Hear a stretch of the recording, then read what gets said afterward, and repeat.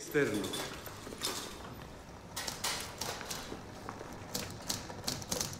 Se observa un orificio de entrada de proyectil de forma irregularmente estrellada, cuyo diámetro es de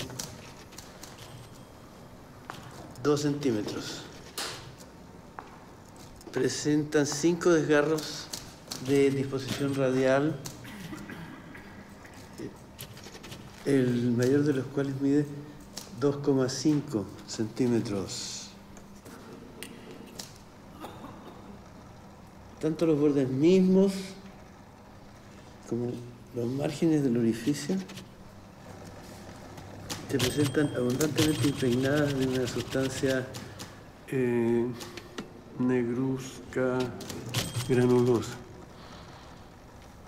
El proyectil atraviesa los tegumentos y perfora el piso de la boca, determinando el estallido de la lengua,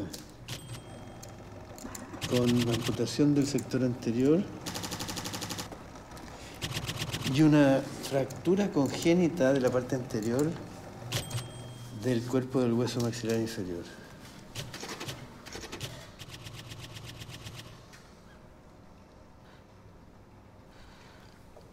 ¿Lo tiene, Cornejo? No todo, doctor.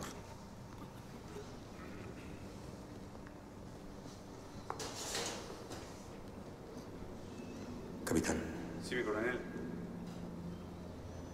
traiga a alguien que sepa. Permiso, mi coronel.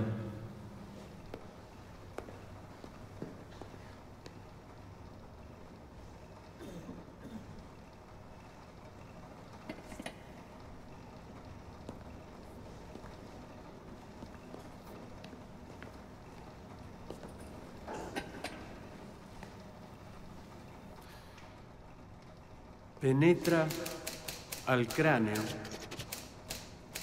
arrastrando a su paso un fragmento desprendido de la lengua, el cual se encuentra incrustado en la masa cerebral. El proyectil, continuando en su avance, se abre paso a través de la masa encefálica de- determinando la atrición casi total de ella, parte de la cual se encuentra fuera de la cavidad craneana. Examen interno. Examen interno.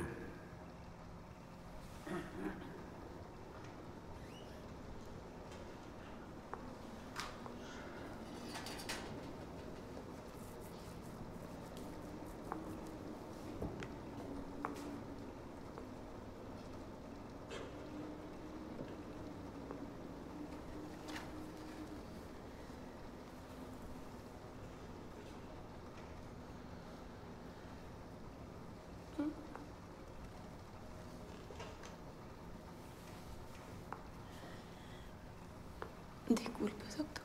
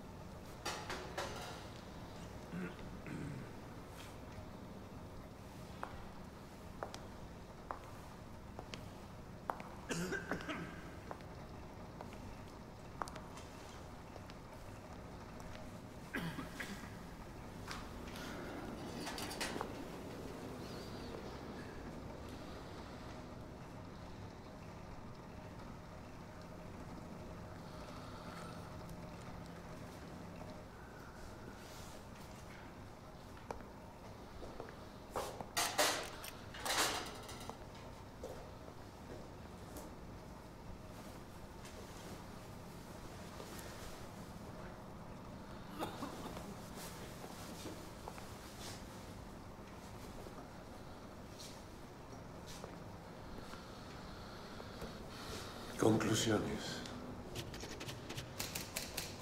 Cadáver de sexo masculino identificado como Salvador Allende Gossens. Causa de muerte, herida cérvico cráneo encefálica, reciente con salida de proyectil. El tipo de disparo es el que en medicina legal se conoce como de corta distancia.